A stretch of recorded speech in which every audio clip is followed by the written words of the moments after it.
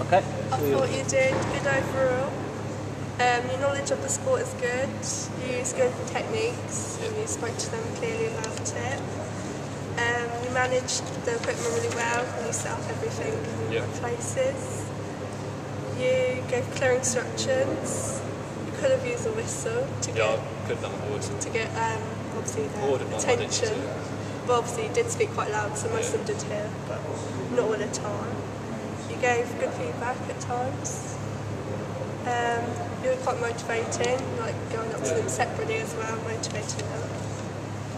And you gave one-to-one help for sort of Sam, obviously. Yeah. Was struggling a bit. You were struggling so, gave, like, manual guidance to help them through. So overall, yeah, it was really good. Now we just all pulled.